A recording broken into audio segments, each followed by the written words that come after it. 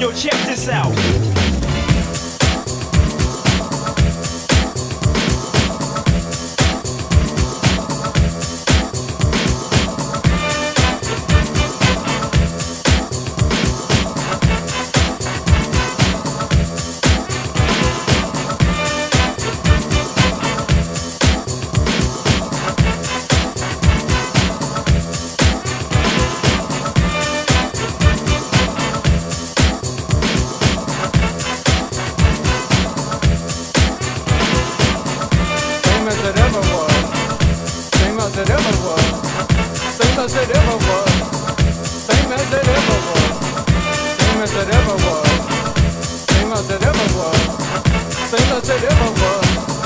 Same as was. Yo, listen up, here's the story about a little guy that lives in a blue world. And all day and all night, and everything he sees is